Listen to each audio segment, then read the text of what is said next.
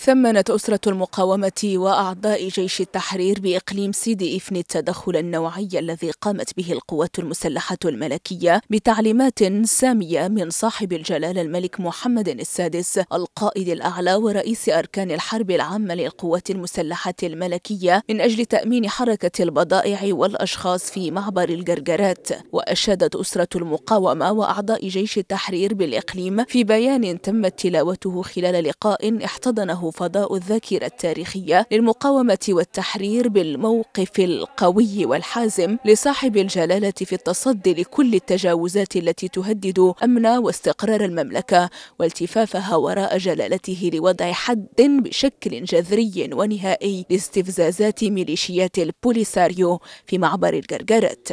فأسرة المقاومة وجيش التحرير في تعبئتها التامة والشاملة تجتمع اليوم لتندد بهذا العمل الجبان هذا العمل الصبياني اللي تقترفوا واحد المجموعة ديال قطاع الطرق ديال بوليزاريو في هذا المعبر اللي تيربط بين المغرب والشقيقة الدولة الموريتانيه وتتندد كذلك بالتحركات ديال الحكام الجزائر اللي تيمكنوا مثل هذه العمليات اللي تتمس بالأمن والاستقرار الإقليمي والمحيط ديال المنطقة وتتشيد بالتدخل ديال القوات المسلحة الملكية اللي تحت مظلة الأمم المتحدة وأمام أعين المراقبين ديال المينورسو كان تدخل سليم وكان تدخل نوعي.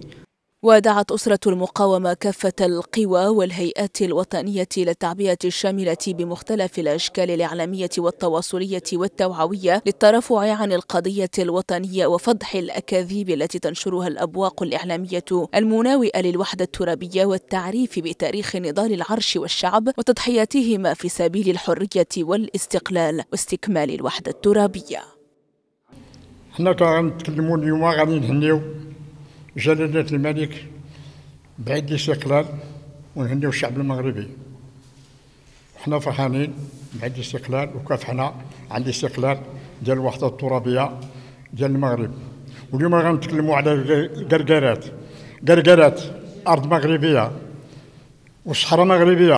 أشيد بما بما بمجهودات القوات المسلحة الملكية في المعبر بتعليمات صاحب الجلالة الملك محمد السادس قائد أركان الحرب والحامي حمى الوطن. أنني أشيد بهم وتنفتخروا بالقوة نتاعنا. جميع شاف جميع الناس شافوا الأحداث اللي وقعت تما وشافوا الطريق كيفاش حفروه.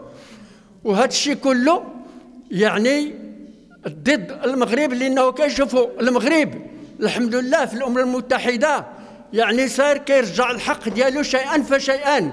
كتبان الحقيقة من الخيال.